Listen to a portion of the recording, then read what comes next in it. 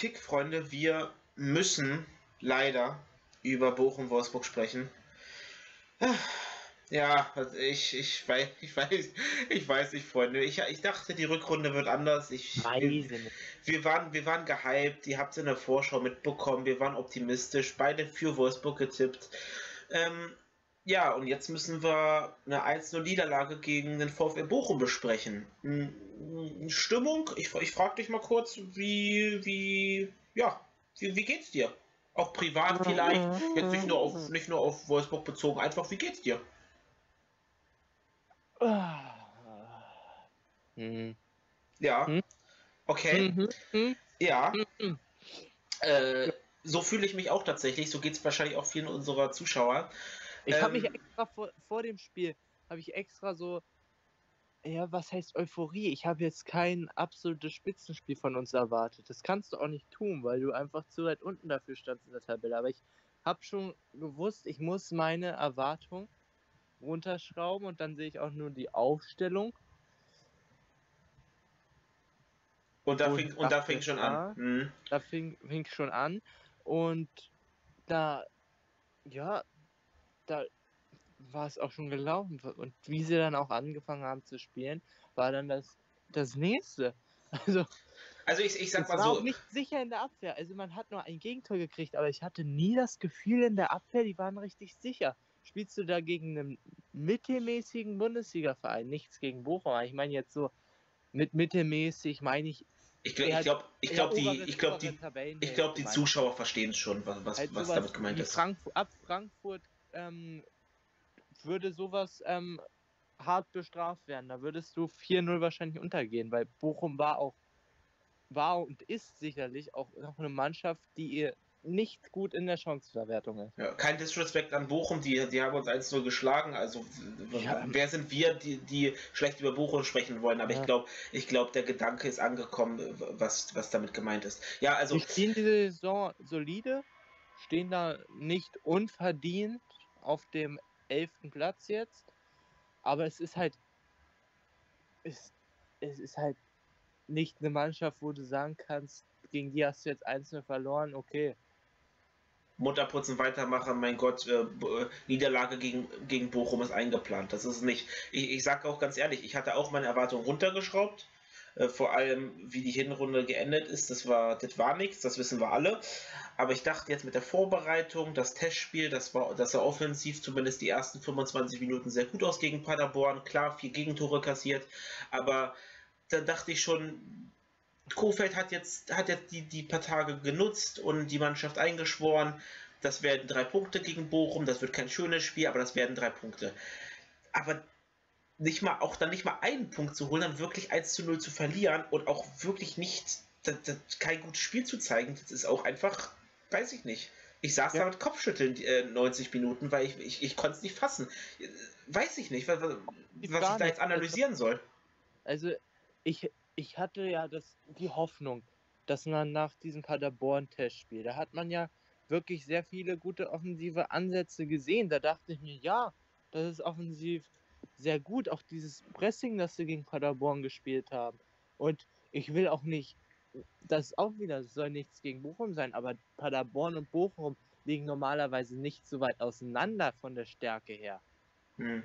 Und da spielst du offensiv einen sehr guten Fußball, hast da 4-0 geführt, hast ein starkes Gegenpressing gefahren, aber gegen Bochum war überhaupt nicht zu erkennen. Das war schlechter als sogar in der Hinrunde. Und dafür, dass man unbedingt ähm, zeigen will, dass man ja so gut ist und man jetzt seine Trainingstage hatte, war das kein guter Einstand, weil man auch höchstens auf Augenhöhe war. Höchstens, genau, weiß ich nicht. Also vielleicht Augenhöhe ist ein gutes Stichwort, um mal so generell auf die Statistiken zu schauen. Die, die Zuschauer sehen es oder haben es gerade schon die ganze Zeit vor ich Augen. Ja äh, sehr, gut, sehr gute Überleitung.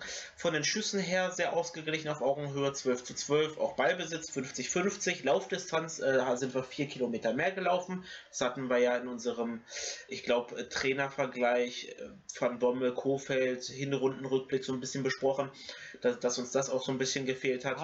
Auch noch einen Punkt zu, weil das ist wieder ein Spiel, wo du siehst, es nützt dir halt auch nicht, wenn du mehr läufst. Weil in dem Fall hatte ich wirklich das Gefühl, dass man eher hinterhergelaufen ist. Und wenn du 118 Kilometer dem Gegner gefühlt hinterherläufst, ja.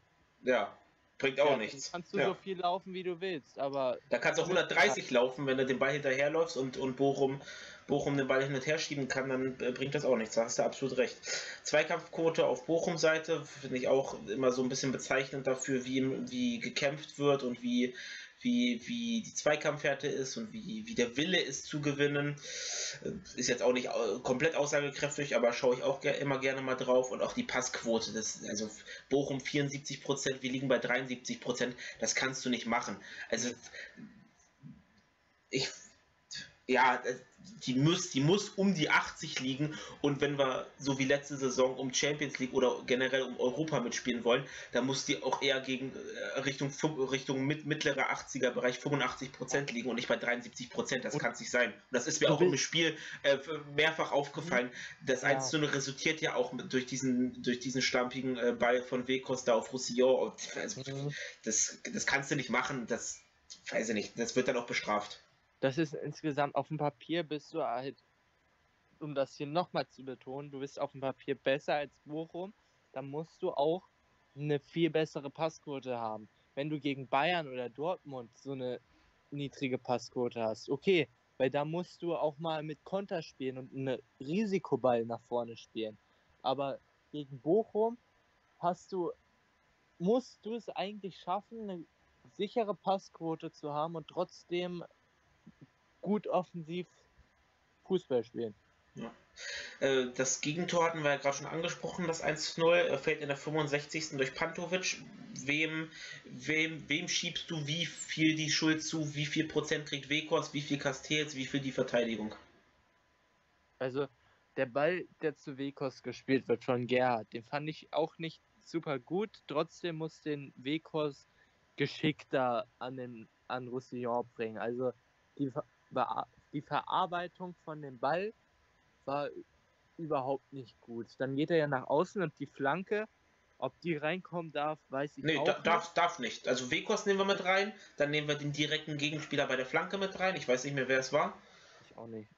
Und dann in der Mitte ist, ja, ich weiß nicht, also der Ball fliegt an Brooks unter anderem vorbei und Bonau. Ähm, die beide keinen Gegenspieler hatten und der Ball fliegt zu Pantovic, der eher von Lacroix verteidigt wurde, glaube ich. Ja, Lacroix steht, ist ja dann auch da in dem direkten Zweikampf. Dann kommt Castells noch raus, äh, aber nicht energisch genug. Also entweder dann ja. da durchziehen und den Ball wegfausten oder festhalten oder dann halt auf der Linie bleiben.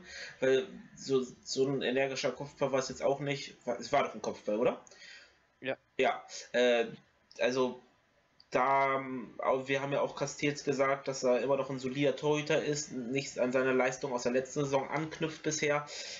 Aber das war auch schon eine Szene, wo man ihn mit reinnehmen muss. Das, das muss er besser machen. Das war, das war nicht gut gelöst.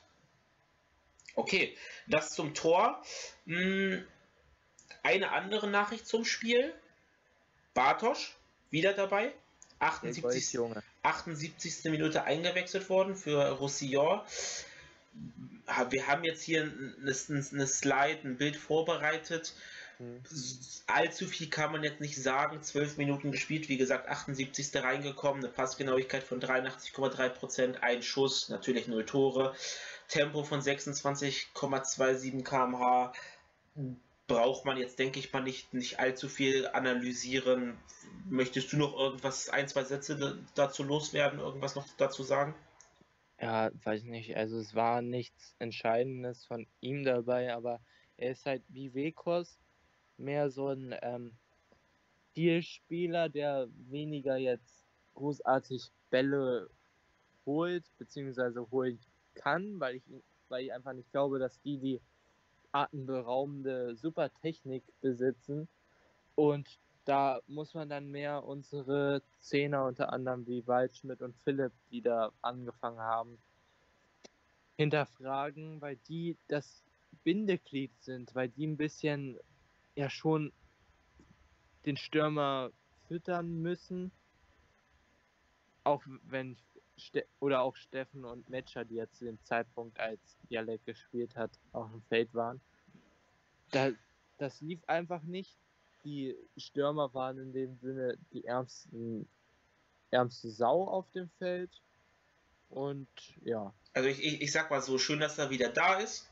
Mhm. Und äh, Bialek wird auch ins, ins Rollen kommen und ins Laufen kommen, sofern denn die ganze Mannschaft anfängt, wieder vernünftigen Fußball zu spielen und schönen Fußball zu spielen. Und dann auch, wie gesagt, wie du die Zehner, wenn die oder die Flügelspieler, wenn die mitarbeiten, dann kannst du den Bialek gut füttern mit seinen, äh, weiß ich nicht, 1, also über 1,90 wollte er wohl sein, 1,91 äh, habe ich gerade nachgeschaut. Ja dann kann der auch funktionieren, aber bei einem 1-0 Rückstand gegen, gegen Bielefeld, äh, gegen Bielefeld sage ich schon, gegen Bochum, mh, mm, ja, ist, ist das natürlich dann schwierig, da die zwölf Minuten zu beurteilen. Aber ja. wir, wir wollten es mal kurz mit reinbringen, kurz mal mit anschneiden. Was wir natürlich auch anschneiden müssen, wie ein Kuchen, ist die Tabellensituation. Müssen wir leider machen. Einen Kuchen würde ich lieber anschneiden, aber in dem Fall ist die Tabellensituation. Platz 14. Der rote, der, der Pfeil zeigt rot nach unten, nicht wie bei Bochum, da zeigt er grün nach oben. Bochum jetzt aktuell Platz 11 nach 18 Spielen. Wir auf Platz 14. Ja, ähm, das, das, sieht, das sieht sehr beschissen aus und ich, ich bin ganz ehrlich. Drei Punkte zum Abstiegsplatz. Ja. Direkt Abstiegsplatz. Und so spielen wir auch momentan und das, wir, ja. wir stehen da auch verdient ja. unten und wir müssen so aller, wir müssen schnellstmöglich jetzt auch gegen Hertha, wir werden in der Vorschau darauf eingehen, müssen wir was machen. Da, wir, wir, müssen gewinnen. Wir brauchen Siege. Da muss man auch sagen, wir waren ja nicht so, wir waren noch nicht so sehr fokussiert auf den Abstiegsplatz in der Vorschau, weil wir einfach die Euphorie hatten, wie wir schon erwähnt haben, nach diesen Testspiel.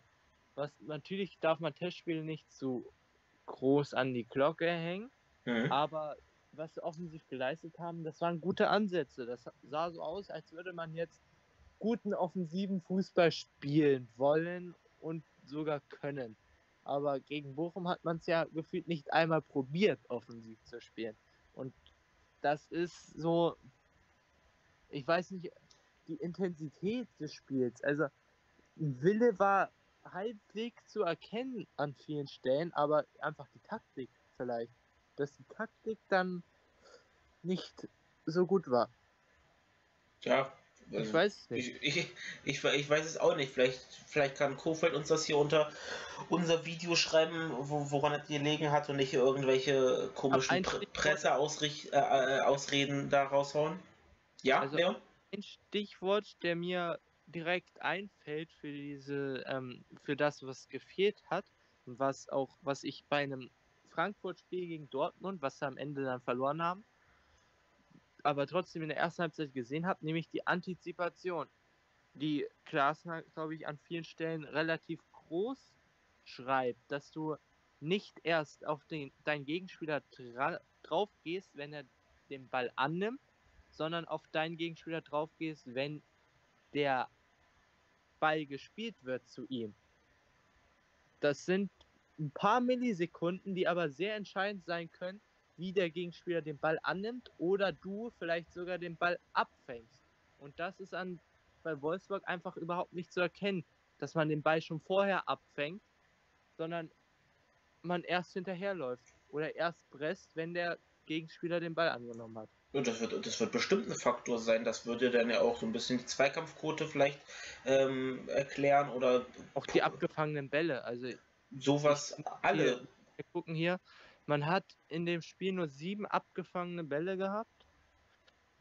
Ja, das ist. Ja. Das ist, das ist nicht, nicht, nicht so dolle. Das, das, das, das ist auf jeden Fall ein Faktor und äh, ich hoffe, ja. den werden wir jetzt äh, demnächst in den Griff bekommen. Hm, wir haben noch ein Bild vorbereitet, was so ein bisschen auch mit der Tabellensituation zu tun hat. Wie, wie, wie viel Zeit geben wir Kofeld noch, bis er fliegt? Oder wie, ich, viel, wie viele Niederlagen?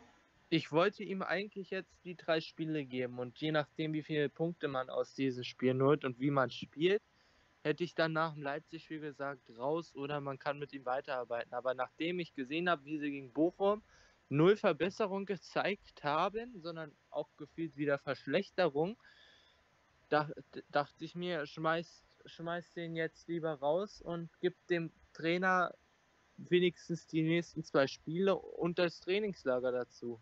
Doch wie es sich anhört, soll es nicht so sein, weil Schäfer ihm den Rücken stärkt. Was ich nicht so ganz verstehen kann. Man schaut hier mal ja. kurz auf unser Bild. Ähm, was, was ist, was hat ähm, er jetzt besser gemacht als Van Bommel?